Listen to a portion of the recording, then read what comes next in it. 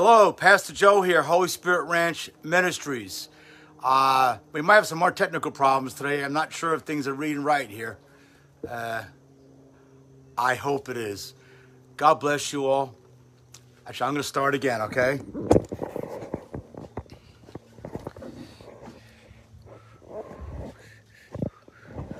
No. Okay, someone let me know if this thing's working right, okay? I apologize. Holy Spirit Ranch Ministries, Pastor Joe, great message today. Passionate, it's titled Passionate Peter. And like I say, Priscilla, I think I see you there. Let me know if this thing is is coming on right. Thank you. And a shout out to all of our friends of the ministry, brothers and sisters in Christ in Atlanta, Georgia, and New York, and Philippines, and Kenya, and uh, South Korea. Uh, just, uh, just thank you all for being here, and being part of this ministry. Passionate Peter. Father God, as I speak your word, don't let me be rattled by technology that seems to be a struggle for me often. let me let me be a vessel for you, Father God, as imperfect as I am, a vessel to be used to speak your amazing truth, your amazing love. I pray in the name of Jesus. Amen. Peter.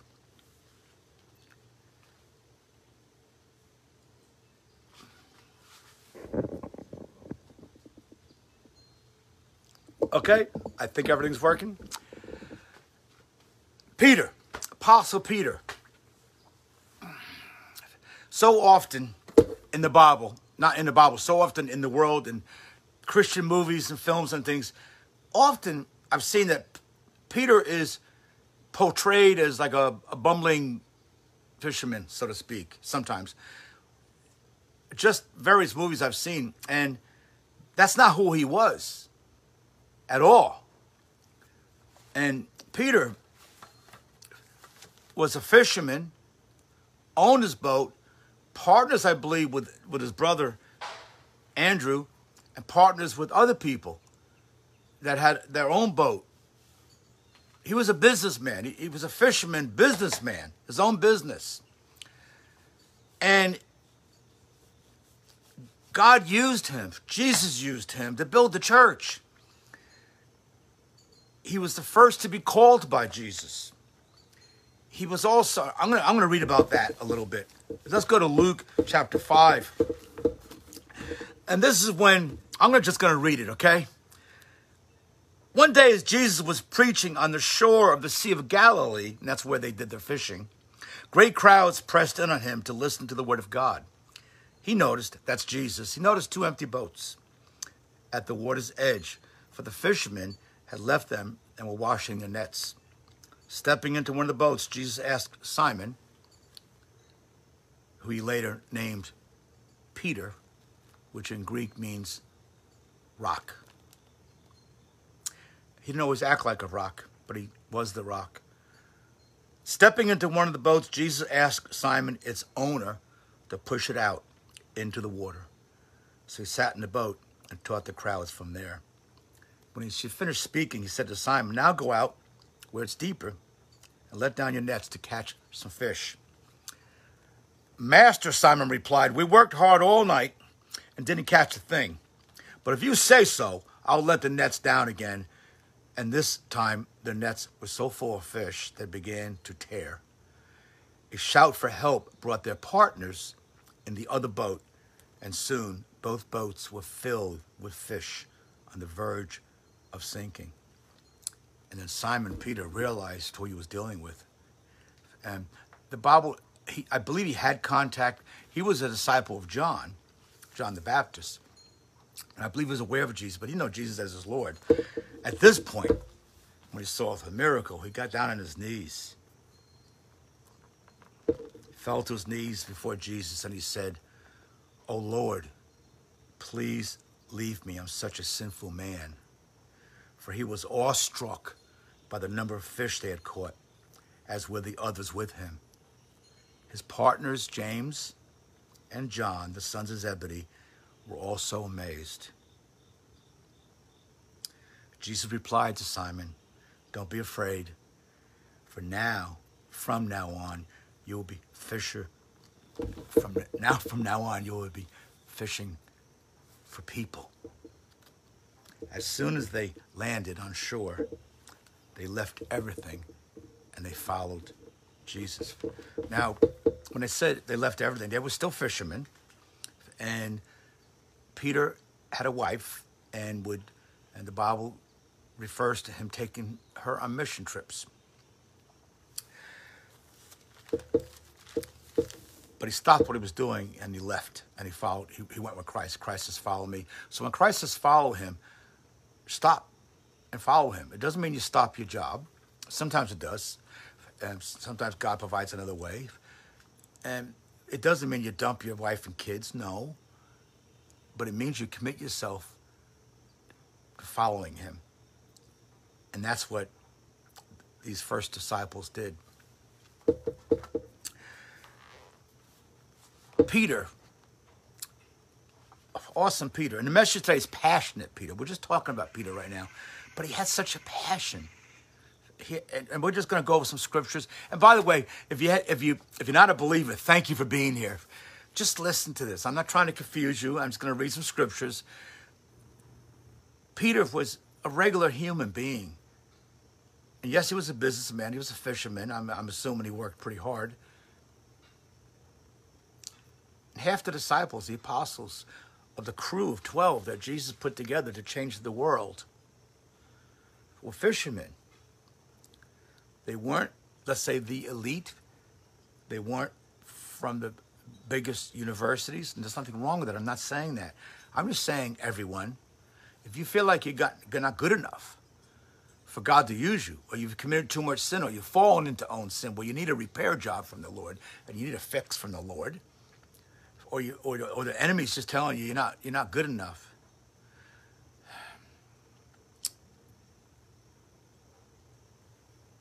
You need to look, read who Jesus used to, to, to start his ministry on this earth.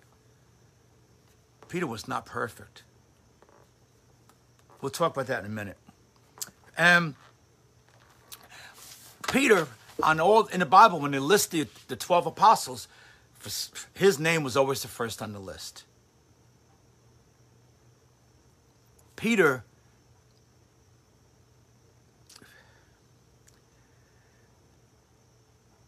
he was a, typically a spokesman for the other apostles. He wasn't just some bumbling guy. He, he wasn't just some crazy guy. Yes, he walked on water. Yes, oh, Jesus, you're there. I'm coming for you. That's the passion that I'm talking about. That the Bible talks about. That's the that's the passion he had for Christ. The passion for seeking Jesus. The passion for following Christ. The passion for the truth the miracles of eternal life, the miracle of salvation, the miracle of God in the flesh, Jesus. And so he was a spokesman for the other apostles, typically, often. And he also, there was an inner circle of Peter and James and John. And this was the inner circle that Christ had. And they went to the transfiguration. They saw many miracles together and this was his inner circle that he would spend special time with. And you know what an inner circle is? Those people you can confide with and you can consult with and bounce things back and forth. You could sharpen the sword together spiritually. And he was also, Peter was also the leader of that inner circle of Christ. This is Peter. The Peter that we all, we so much Peter. He walked on the water, but he but after that, he denied Christ. When the rooster, you know, before the rooster crowed, he denied Christ. And when they were taking Christ away. But it's also the Peter, that's the rock that was instrumental in building of the church. And Matthew chapter 14, we're going to go over a couple of things, especially for people that are new here, that don't know the word or aren't even Christians yet. And Matthew chapter 14. And this is when Jesus walked on water. No, sorry, and, and Peter.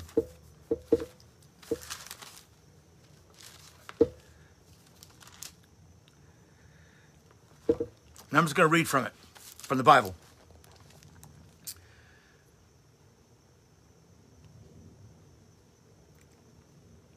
This is when um, they were out in the Sea of Galilee at 3 a.m. in the morning.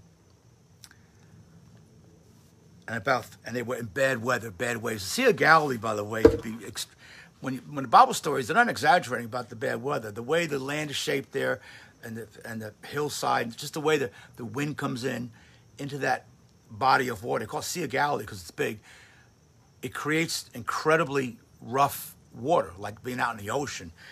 Really rough water. So when they talk about storms there, it's real. It's really dangerous, difficult storms the Bible's talking about. And this starts happening at three in the morning.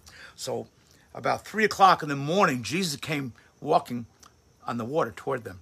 When the disciples saw him walking on the water, they were terrified. In their fear, they cried out, It's a ghost. But Jesus spoke to them at once. Don't be afraid, he said. Take courage. Uh, so much here. Don't be afraid. You're in the storm. Jesus says, Don't be afraid. The world, everyone, is in a storm now, as we know. The whole world is in an uproar. All the nations, not just America or the Philippines or Africa. The world is in an uproar right now. He says, Don't be afraid. Jesus said, Take courage. I am here. Then Peter called to him, Lord, this is about Peter now. Peter called to him, Lord, if it's you, tell me to walk on the water. Jesus said, Come. so Peter went over the side of the boat and walked on the water toward Jesus. But when he saw the strong wind and the waves, he was terrified and began to sink. Save me, Lord, he shouted. Jesus immediately reached out and grabbed him. You have so little faith, Jesus said. Why do you doubt me? There's so many messages. I've given the message a lot of times just on this scripture here, but it's part of the other message, rest of the message I'm doing today. You take your eyes off Jesus in the storm and you sink. If the enemy starts grabbing you, you drown. If you don't keep your eyes off Jesus, he just reaches out and grabs you. He will every time. And I'm talking about not just from the Bible, I'm talking from my own life in Transfiguration, Matthew chapter 17. We're talking about Peter here again. Transformation is when, well, I'm going to read it. P- Jesus took Peter and their two brothers, now this is the inner circle, to a high mountain to be alone.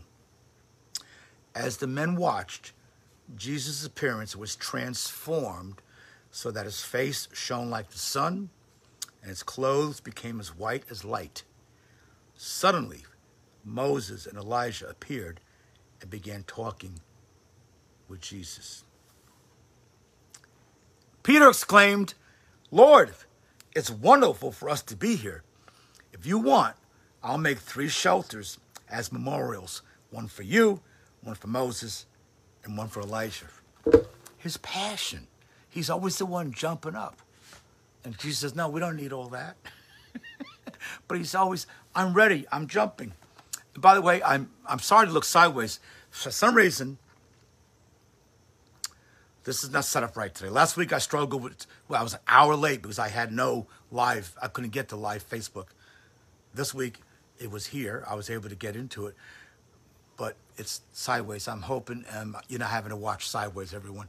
Someday, there's going to be someone helping with this part of it so I can focus on the message that I have. Someday.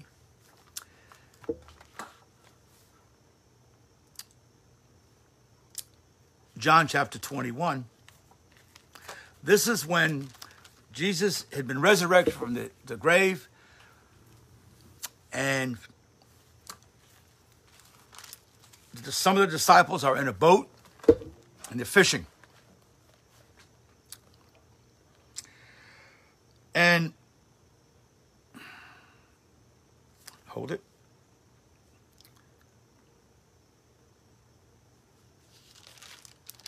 I don't have the right scripture. Here. I apologize. But here's where here's how it goes. Jesus is on the shore, and they're fishing, and it's after Jesus has been resurrected from from the dead, from the grave, defeated death at the grave. So we know when he says he's coming back for us someday, and if we're a believer, if we're in the Lamb's Book of Life, we will get a will be resurrected from the dead. We'll be given new spiritual bodies, fashioned like that of Jesus Christ, made by God's hands. So he was he, he said, see, he gave his life for us, but then he also defeated the enemy because the Holy Spirit rose him from the dead. The same Spirit lives in us, the same Spirit that, that rose Jesus from the dead, Spirit of God, lives in you and me if we're a believer. If you're not a believer, ask Jesus in. It takes two sec- I mean, 10 seconds. And it doesn't take long. Jesus, be my Lord, please. I'm sorry for all my sins. I know you died for my sins on the cross. I repent. Help me change the way I think. Help me to think like a child of God. Please, Holy Spirit, move into me. Spirit of God. You're saved. You don't have to do it. It doesn't take a week. It takes just seconds.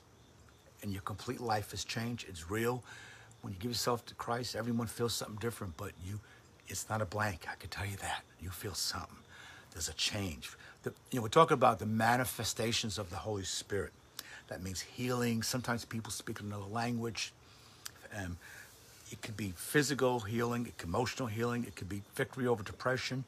You could pray with somebody against depression, and sometimes the power of the Holy Spirit will operate. Depression just leaves. And you're going, what happened?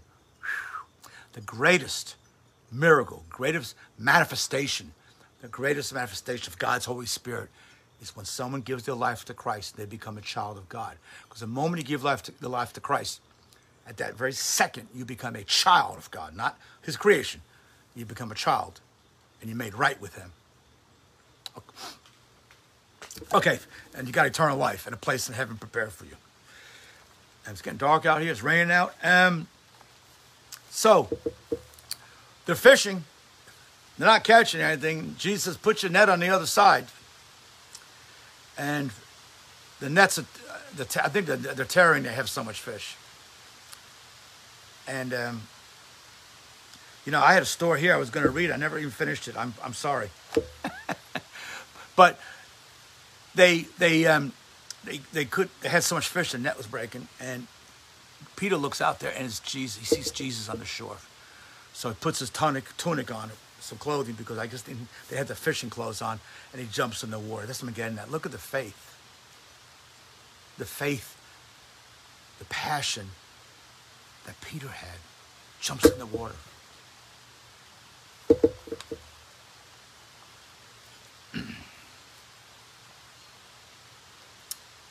you know, Matthew chapter 16 is when Jesus calls him a rock.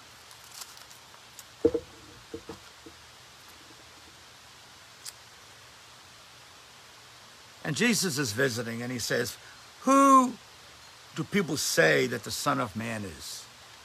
Well, they replied, Some say John the Baptist, some say Elijah, and others say Jeremiah as one of the other prophets, or one of the other prophets.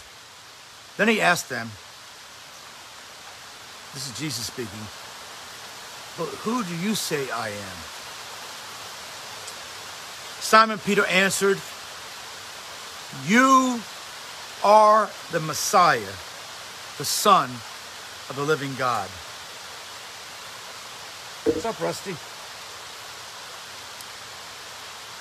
Jesus replied, You are blessed, Simon, son of John, because my Father in heaven has revealed this to you. You did not learn this from the human, from any human being. Now I say to you, that you are Peter, which means rock. And upon this rock I will build my church, and all the powers of hell will not conquer it. When, when Jesus told Peter,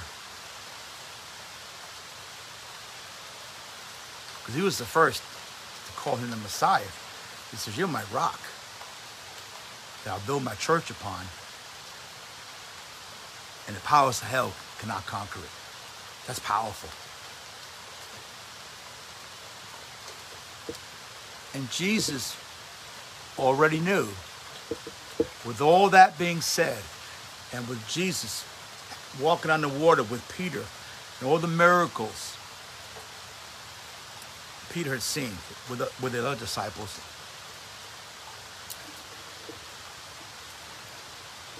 I'm sorry. Even with all that, Jesus already knew that Peter, passionate Peter, intelligent Peter, was going to deny him when the authorities hauled away Jesus to whip him and torture him and eventually to kill him. And when they took Jesus, you know, three times, three times, Peter, the rock, denied Christ. I don't know him. I'm not from there. I'm not from that region. I don't know him. I'm not one of his disciples. That's beyond my comprehension. I mean, anyone who's listening now, if you walked on the water with Jesus, you, you, you beyond your comprehension that you could ever, ever, ever deny him as they're taking him, hauling him away. But he did.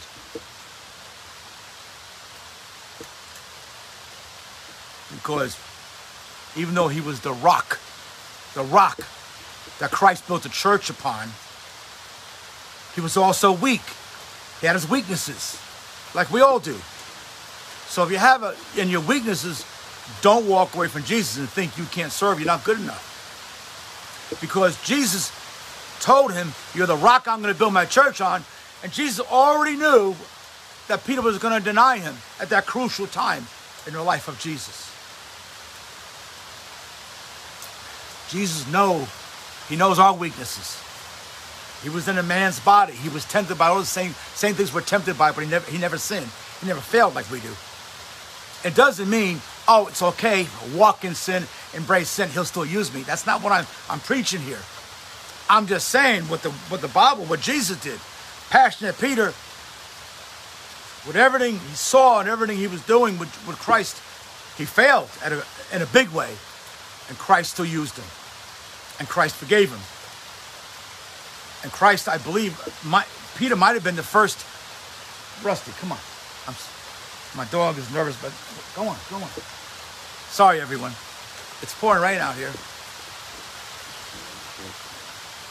Beautiful, isn't it? Um, and I'm sorry today. This is a. I'm very passionate about passionate Peter. I'm sorry. I'm still having troubles with my internet stuff after doing broadcasting for like two years. I apologize. Go, Rusty. Sorry. Um,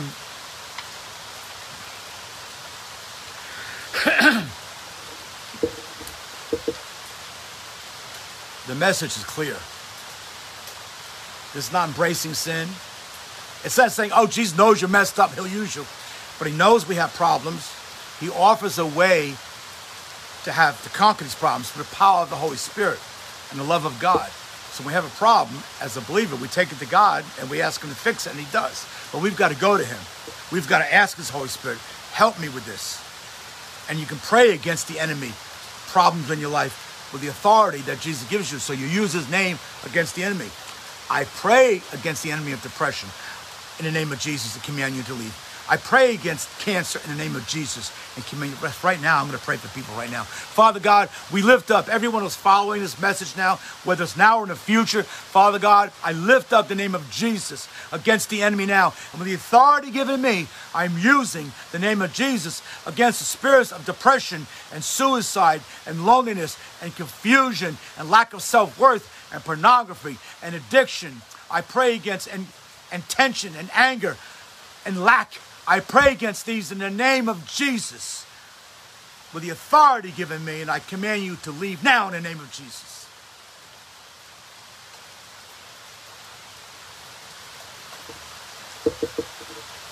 Where was I?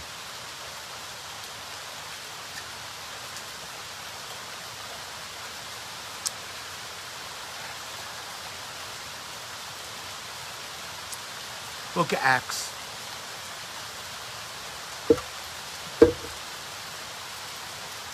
And whether you're a seasoned believer or, and thank everyone for being here. I can't really, um, Priscilla, Doug, Melissa, thank you all for being here. If you're, whether you're a seasoned believer or a brand new believer or you're not a believer, read, read the first, first half of Acts, book of Acts and read First and Second Peter, all the New Testament, and there's the first half of the book, first book of Acts speaks a lot about Peter and how God used him after Jesus went to heaven. The Holy Spirit was given to the church. The Holy Spirit was not just temporary, given as needed, but was given to all believers to move into them permanent.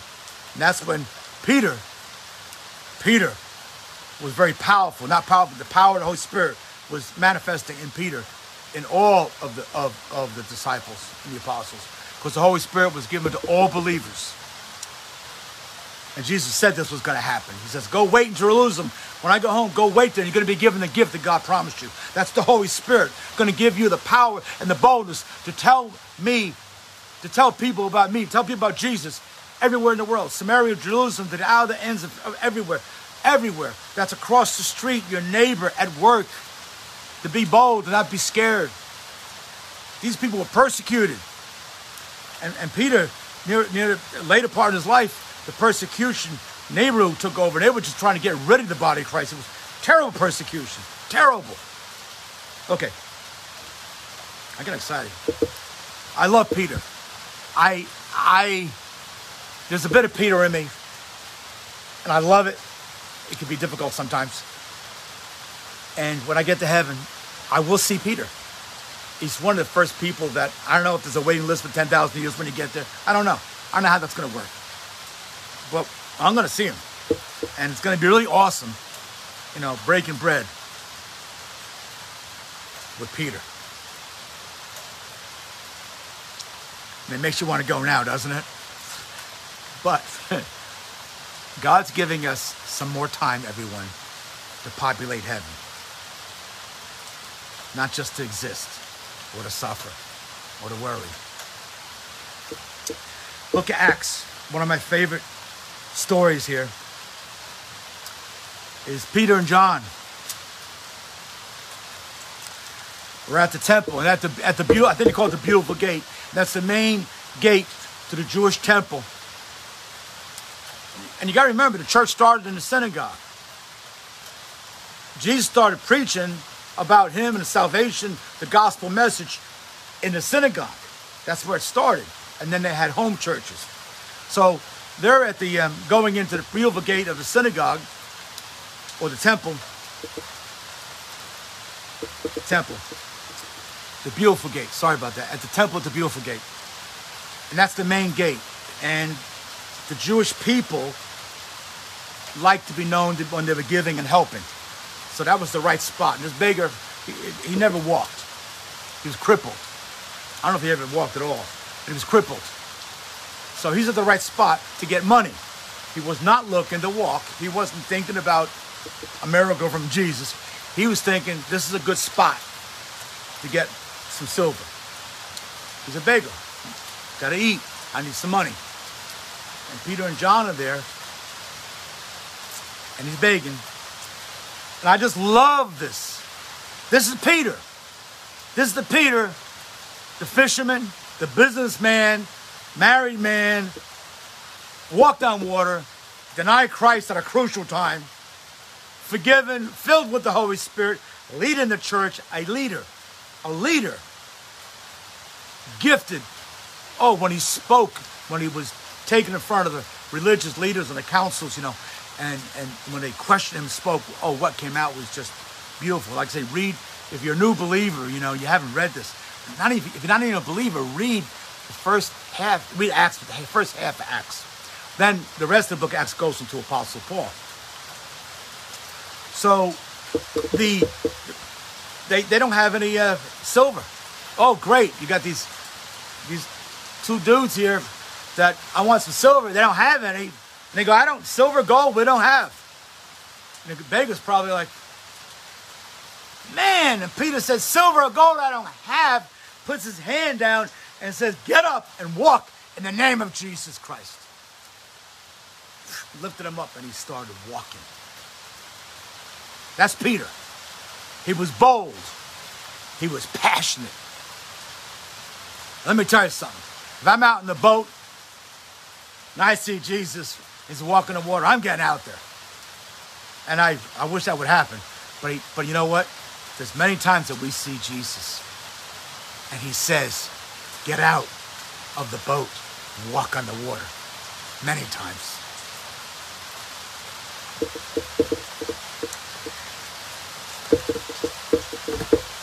Passionate Peter. Father God, as I give this message about passionate Peter, I pray that that whoever's listening to this message doesn't compare themselves to Peter. Doesn't if you compare, you think I'm never gonna be able to do what he did. He's in the Bible. That's Peter. He walked on water. Many of us have had walk on water type experiences in many different, takes many different forms. Father God, I pray. We don't compare ourselves to Peter. We learn from Peter. And we realize we got Peter in us. That we can have the kind of passion that, the kind of passion that Peter has. That we can have that passion. Not that it's going to be worked up on us. Not that it's going to be all psyched up that we, from the Holy Spirit and the love of Jesus, can have the passion like Peter. And it takes many forms. You don't have to be the one to jump out of the boat, like Peter was always the first, but it takes many forms. And takes being strong in your faith, like Peter, even though he had his weakness. And even with his weakness, God called him the rock, built the church on, gave him the Holy Spirit, started changing the world. God will change the world through all of us. Passion. Passion. What's the dictionary term for passion? Um, over over zealous about overzealous. Can't stop. Excited. Passion. Almost uncontrolled. I think one of the dictionary terms is uncontrolled. Peter was like almost uncontrolled. I'm getting out. Yeah, here I am. Here I am. Here I am, Jesus. Kind of cool giving a message in the pouring rain. wow. I love you all. I pray for you all. That you can, you can feel the passion that's in this message today. The passion that Peter showed us that's real. That's available to all of us. We could all have that passion. With that passion comes an incredible reward. Because when you let that passion flow uninhibited for the Lord, the blessings are immeasurable, beyond comprehension especially when in the midst of a world that's in a big storm. Uh, I pray for you all in the name of Jesus. Listen, check us out on um, www.holyspiritranchministries.org. I'm going to say that again for a reason. www.holyspiritranchministries.org. We're getting into a fund fundraising mode, which we've never really done very well. We have a lot going on. We need to fund this ministry, which is in America, in Georgia, in the Philippines, and in Africa, Indian reservation, refugee community, even in Pakistan.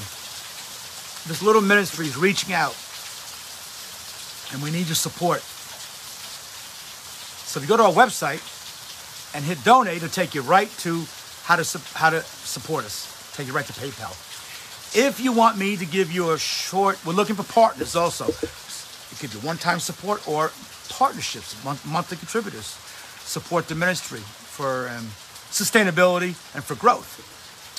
we have a lot going on. We, we uh, God's given us a vision to build a training center up on the property where our home base is.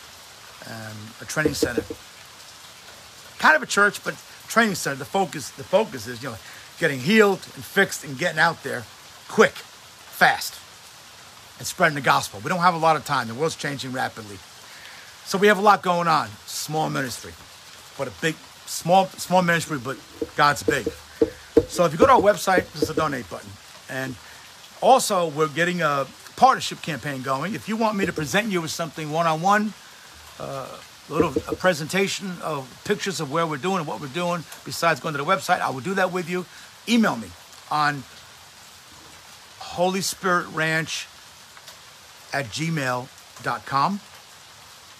And we also just hooked something up with Pledge, which is kind of like PayPal, but Pledge is just for nonprofits. Kind of cool. And we just, this is high tech for us, right? My friends that are watching there's no way you got this figured out. No, it took a bunch of us to figure it out to get me to do it. But if you go, if you go to text and you type in Jesus, oh, I'm sorry, if you type in speak Jesus, speak with no no breaks in it, just speak Jesus, and you send it to oh 707070. It'll take you to our pledge a pledge site where you could donate, and so it gives you a spot to become a monthly member. Everything else. So I'm giving you three ways to do this, right? Partnership calling me. You could do that through just going to um, Speak Jesus 707070. Go to our website. I know that's a lot I'm talking about, but I haven't done it much. We're at a time where we uh, God has directed us to do this. Um, it's by His direction. There's been three or four people involved in our ministry that have really been trying to help make this happen like this. So um, I don't mean to badge you with it. I love you all. Thank you for being here. I I do I do wish I had this message with somebody else doing the technology part with thousands and thousands of people preaching, speaking the word to us about passionate Peter. Oh, there's so much power in that. There's so much real power in that passion. We're not talking fake passion. I'm not talking putting on a show. It's about the real thing. Inspired, powered by the Holy Spirit, the love of Jesus. Thank you all for being here. I love you all. God bless you.